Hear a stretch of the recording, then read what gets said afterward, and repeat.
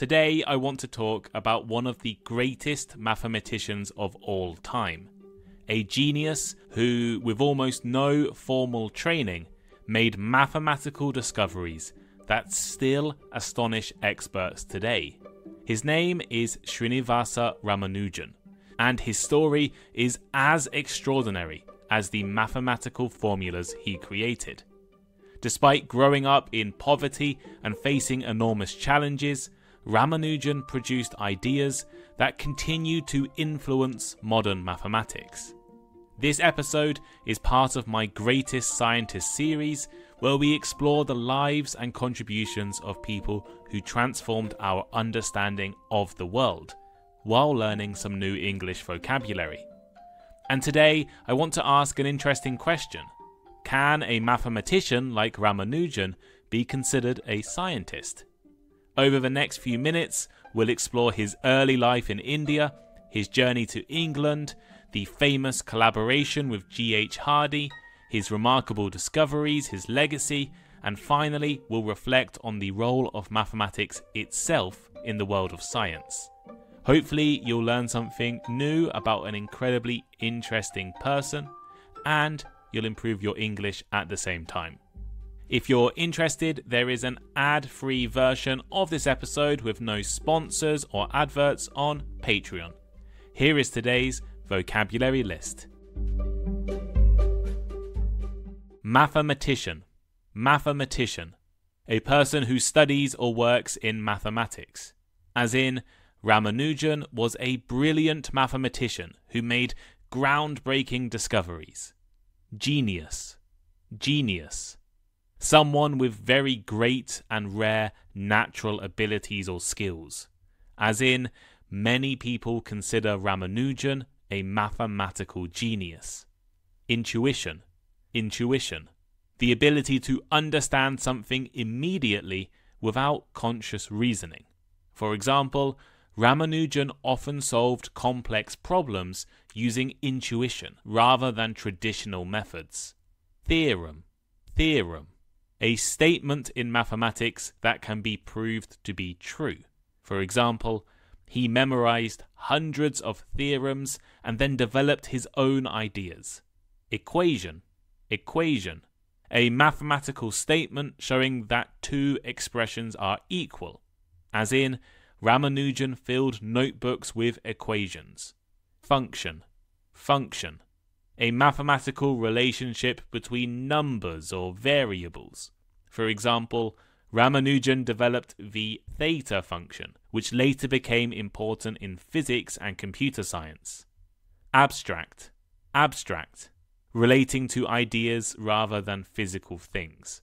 As in, mathematics is an abstract discipline that relies on logic, symbols, and proofs.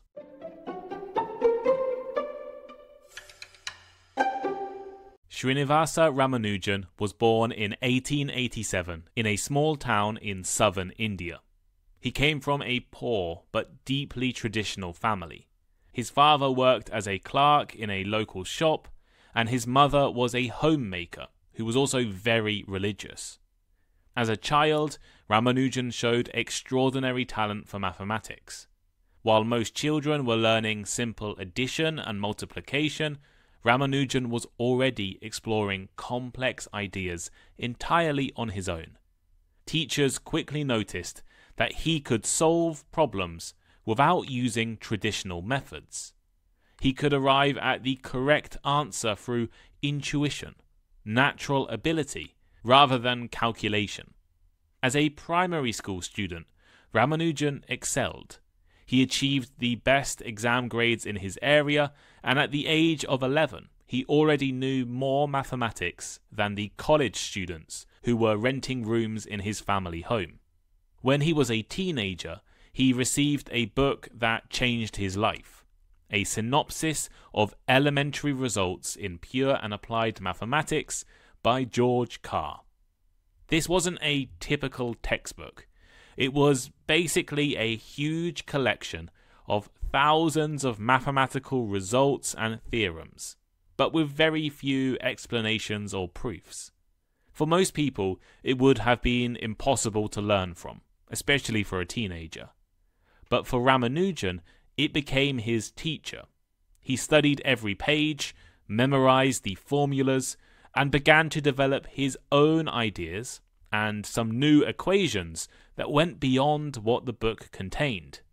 However, his obsession with mathematics caused problems in school. Ramanujan ignored other subjects like English, history, and science, which meant he repeatedly failed his exams. In 1903, for example, he had been given a scholarship to the University of Madras, but he lost the scholarship a year later after failing every class other than mathematics. Despite being a genius, he couldn't complete his formal education. In the years that followed, Ramanujan lived in poverty. He struggled to find work and a place to develop his mathematical skills. He continued to fill notebooks with pages of equations and results, but few people in India or in the world at that time understood his importance. He also suffered from poor health, which would remain a constant challenge throughout his life. While searching for employment, Ramanujan began to interact with some of India's top mathematicians. He met V. Ramaswamy Iyer, the founder of the Indian Mathematical Society, when he was attempting to get a job in the same department that Ramaswamy worked. Impressed by his notebooks, Ramanujan was introduced to a variety of other prominent mathematicians. In 1913, he made a decision that would completely change his life. He sent a letter to G. H. Hardy, a respected mathematician at Cambridge University in England. The letter contained pages and pages of mathematical formulas. Many of these looked completely unfamiliar to Western mathematicians at the time. At first, Hardy was skeptical. He thought the letter might be a joke or a mistake. After all, it wasn't common for a poor, self taught person from the other side of the world to suddenly send new and original mathematical work to one of the world's top universities. But when Hardy and his colleague J. E. Littlewood began to study the results more carefully, they quickly realized that these were not random ideas. The formulas that Ramanujan had sent were deep, elegant, and most importantly, new. Hardy later said that reading Ramanujan's work was like opening a treasure chest full of mathematical jewels. He immediately recognized that Ramanujan was a genius, perhaps one of the greatest mathematical minds in history. So he invited Ramanujan to come to Cambridge. In 1914, after overcoming social and religious obstacles, including a lot of concerns from his family and his community about traveling overseas, Ramanujan made the long journey from India to the United Kingdom. It was the first time he had ever left India. When Ramanujan and Hardy finally met, it was the meeting of two completely different worlds. Hardy was a great mathematician who came from the Western academic system. He was logical, disciplined, and focused on strict mathematical proofs, proving what you think is true. Ramanujan, on the other hand, was intuitive and creative. He often wrote down results without showing any steps, without showing any of his proofs. He also claimed that his inspiration came directly from his family's goddess, Namagiri, who revealed the formulas to him in dreams. Their collaboration was very productive. Hardy tried to help Ramanujan formalize his discoveries and present them in a way that the mathematical world could understand. Ramanujan, in turn, shocked Hardy with his ability to produce new and unexpected results almost effortlessly. Hardy and Ramanujan formed one of the most remarkable partnerships in the history of science or mathematics.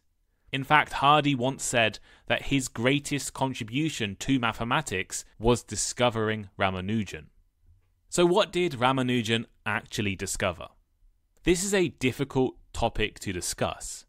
Unlike the previous scientists I've talked about in this series, Isaac Newton and Marie Curie, Ramanujan was a mathematician working on incredibly complex things. One of his most famous discoveries was the Ramanujan prime, a special type of prime number that still appears in modern mathematical research.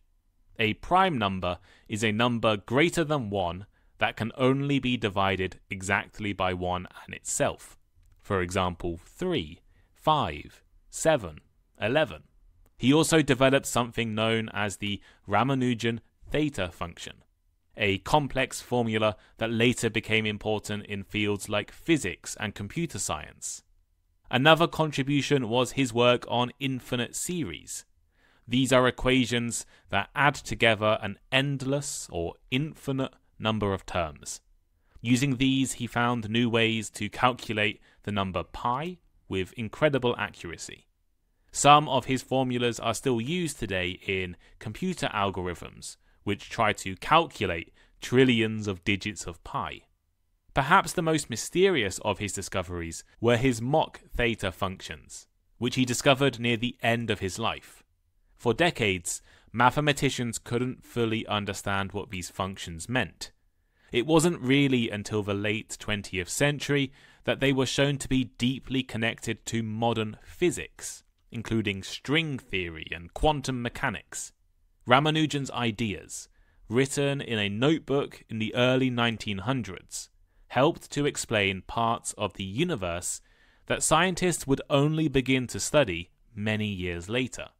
Ramanujan's mathematical notebooks actually contained thousands of results. Many of these were written without any explanation or proof. Mathematicians have spent over a century studying and expanding upon his discoveries, and the vast majority of his results have turned out to be correct. Although Ramanujan's years in the UK were incredibly productive, they also took a serious toll on his health he struggled with the cold British climate, wartime food shortages, and also the difficulty of maintaining his strict vegetarian diet. He was far from home and his family, and he often felt lonely and isolated. On top of that, he was working constantly, pushing his body and mind to the limit. By 1917, his health had begun to fail. He was diagnosed with several illnesses, including tuberculosis and vitamin deficiencies, and he spent long periods recovering in hospitals. He also attempted to end his own life by jumping onto train tracks in London. In 1919, once the First World War had ended, doctors advised him to return to India to recover in warmer climates. After five years in England, Ramanujan finally went home. Sadly, his health did not improve. Even in his final months, he remained dedicated to his work, writing letters to G. H. Hardy filled with new mathematical results, including those mysterious mock theta functions. Ramanujan died in 1920 at the age of just 32. His death was a huge loss for mathematics. Imagine what he could have discovered if he had lived another 10, 20, 30, 40 years.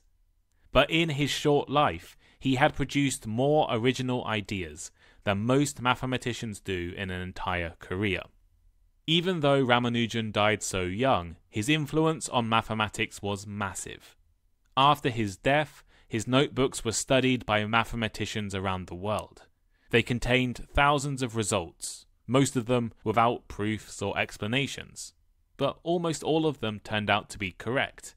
In the decades that followed, his ideas became even more important. Mathematicians discovered that Ramanujan's work could be applied to new areas, including computer science, physics, and modern theories about the universe. These did not even exist while Ramanujan was alive. In 1976, researchers found what would become known as Ramanujan's Lost Notebook, a collection of unpublished results that had been forgotten more than 50 years earlier. This discovery reignited interest in Ramanujan and his work and led to a new wave of research inspired by his ideas. Today, Ramanujan is remembered as one of the greatest mathematical minds in history. There's even an academic journal called the Ramanujan Journal, dedicated to research in areas connected to his style of mathematics. His story has been told in books, documentaries, and films, most famously The Man Who Knew Infinity, starring Dev Patel. Ramanujan's story, to me, represents the idea that great ideas can come from anywhere, not just elite universities or wealthy backgrounds. He proved that genius can exist in the most unexpected places.